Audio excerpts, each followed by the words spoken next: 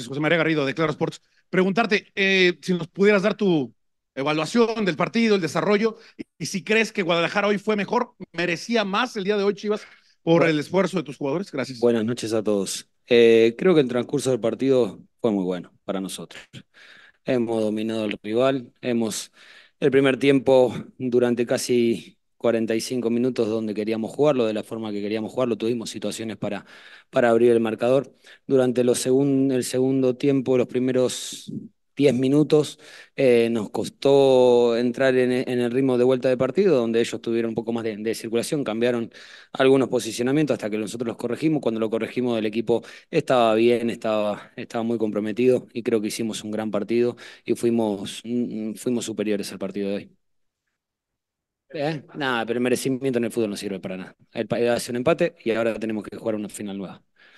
Profesor, buenas noches. En vivo para la última palabra. ¿Qué vas a tomar en cuenta para definir a tu ataque en el Estadio Azteca, tomando en cuenta que tienen que ganar el siguiente partido y ha, faltado gol en este duelo y en el anterior? No, a ver, nosotros vamos a seguir trabajando de la misma manera. Eh, mm, buscamos los conceptos para tratar de atacar, de, buscar y dañar al rival y a partir de eso veremos también cómo están físicamente para poder jugar el día sábado. Profesor, buenas noches. Omar Pérez Campos de Zona Deportiva. Oiga, profesor, dicen que los ataques ganan partidos y las defensas campeonatos.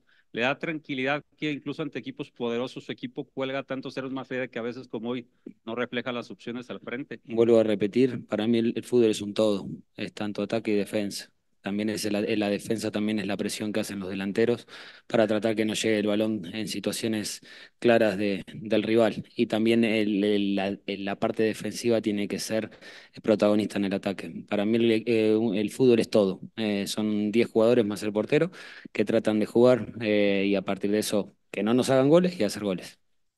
¿Qué tal, profe? Por acá Jesús Bernal de ESPN enfrente de ti. Ahí está. este, Físicamente, ¿cómo ves a tu equipo, tomando en cuenta la intensidad de estos partidos, que está claro es mucho más que, que la de la fase regular, y, el desgaste que ha habido, ¿no? Por este trabajo que han hecho, para obligar al rival a dividir la pelota, ir a presionarlos, ir a buscarlos, cuando hay que replegar lo hacen también, vienen, hacen dos contra uno, tres contra uno. En esa parte del aspecto físico, ¿cómo, cómo ves a Chivas para Muy bien, muy bien. Hoy quedó demostrado que el equipo lo trabajó el partido durante 90 minutos, en cada situación de duelos individuales, en cada situación de hasta de, duelos aéreos.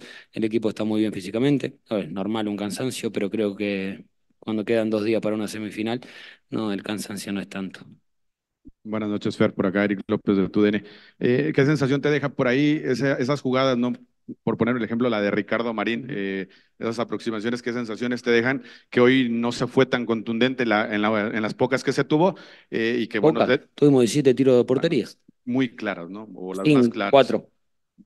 Y no se fue contundente, pues, ¿no? Sí. Eso, ¿cómo te deja, no? Porque, porque hoy, hoy había que sacar quizá una ventaja. Y la otra, lo de Eric Gutiérrez, eh, ¿cómo está eh, uno de tus capitanes hoy con el golpe ahí en el hombro? A ver, lo de Eric lo evaluaremos mañana y a partir de eso veremos. Eh, a ver, es muy fácil decirlo de si se erra un gol a un delantero, no se lo erra. hay que llegar a la situación de goles hay que llegar a esa situación, hay que tener eh, los momentos, las presiones. Ricardo es un jugador fantástico que hace un trabajo muy grande para el equipo. Hoy tuvo dos situaciones, no la pudimos marcar, pero no pasa nada.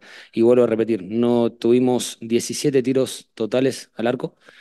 Eh, seis, fueron a portería, creo que seis fueron a portería, así que el equipo tuvo situaciones, el equipo jugó y eso me deja muy contento. María Padilla, de W Deportes, acá al frente. Oye, respecto a la falta de gol, ya vimos que Marín hoy tuvo algunas claras, Javier Hernández en el partido pasado. ¿Has pensado en la posibilidad de JJ Macías? Pienso todos los días en la posibilidad de que todo el plantel esté a disposición para jugar, independientemente del nombre que sea. Va a estar concentrado y va a jugar el que mejor entrene y el que mejor considere yo que está. Veremos para el día sábado qué es lo que, que nos afronta y qué análisis podemos hacer del partido. Hola Fernando, por acá Omar Villarreal de TV Azteca. Te quiero preguntar sobre cómo has visto la evolución del tal Arrangel desde que tomaste al equipo, ahora que pues incluso ya ha sido considerado como guardameta de selección mexicana. ¿Cómo has visto la evolución que ha tenido eh, bajo los tres postes de Chivas? Gracias. Muy buena, muy buena. Desde el inicio de la pretemporada la competencia era entre los tres porteros, era muy, muy difícil de, decidir para, para ver quién, quién iniciaba.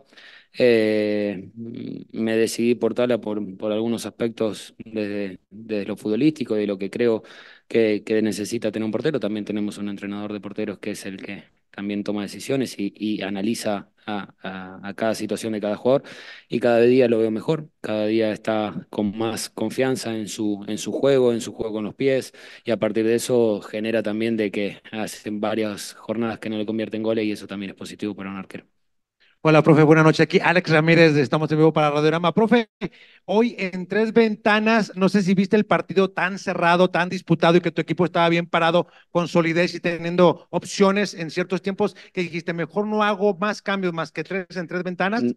No, a ver, el cambio fue, de, eh, tuvimos que hacer el cambio de, de Guti por la lesión.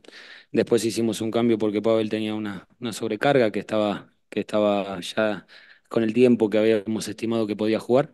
Entonces ahí ya queda un poco, un poco eh, las ventanas casi cerradas.